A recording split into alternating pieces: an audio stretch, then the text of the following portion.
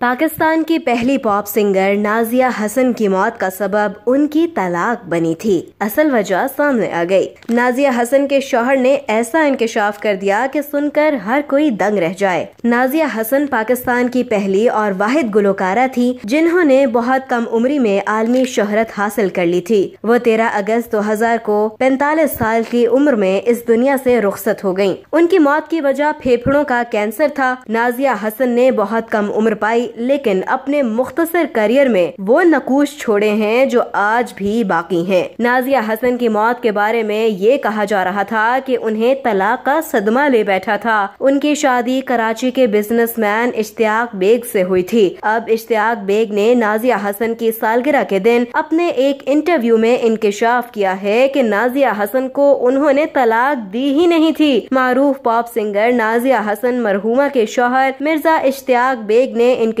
کرتے ہوئے کہا، میں نے نازیہ حسن کو طلاق نہیں دی تھی۔ میرے اور ان کے حوالے سے بہت سی غلط فہمیاں پھیلائی گئی تھی یہ کہنا درست نہیں کہ نازیہ کی موت سے دس روز پہلے طلاق ہو گئی تھی۔ میری اور نازیہ حسن کی محبت کی شادی تھی۔ نازیہ میری بہن آفرین بیگ کی دوست تھی ہم ایک دوسرے کو دل و جان سے پسند کرتے تھے۔ انتقال سے پہلے نازیہ پہلی بار کینسر میں مبتلا نہیں ہوئی تھی اس سے قبل بھی ان کو انیس سو بانوے میں اوویرین کینسر ہو چکا تھا، جس میں ان کے جسم سے ایک بیزا دانی نکال دی گئی تھی۔ ان دنوں نازیہ اقوام متحدہ کے ایک ادارے سے وابستہ تھی۔ سن انیس سو پچانوے میں میری اور نازیہ کی شادی ہوئی اور سن دو ہزار میں وہ اس دنیا سے چلی گئی نازیہ کے گھر والوں اور میرے درمیان اختلافات کی بہت سی وجوہات تھیں۔ نازیہ جانتی تھی کہ وہ کینسر میں مبتلا ہیں اور اس کے پاس وقت بہت کم ہے۔ نازیہ کی خواہش تھی کہ وہ ماں بنے، اس کی بیماری کی وجہ سے میں نے اسے سمجھایا بھی کہ ایسا ممکن نہیں۔ اس کی یہ خواہش پوری ہوئی اور ہمارا بیٹا پیدا ہوا، جس کا نام عریض رکھا۔ نازیہ کی والدہ کو غلط فہمی تھی کہ میں اس کے پاپ سنگنگ کریئر کے خلاف ہوں۔ نازیہ ایک بہت ذہین، حسین اور خوبصورت شخصیت کی مالک تھی۔ وہ جو محسوس کرتی تھی، اس کا برملا اظہار کر دیتی تھی۔ دنیا کے لیے وہ ایک سٹار سنگر تھی۔ میرے لیے وہ بہت اہم تھی۔ جو بہت پیار کرنے والی بیوی تھی، جسے اپنی تمام ذمہ داریوں کا کا علم تھا۔ اشتیاق بیگ نے وضاحت کرتے ہوئے کہا، میں نے نازیہ کو انتقال سے دس دن پہلے طلاق نہیں دی۔ وہ مرتے دم تک میرے نکاح میں تھی، جس کا ثبوت میرے پاس اب بھی موجود ہے۔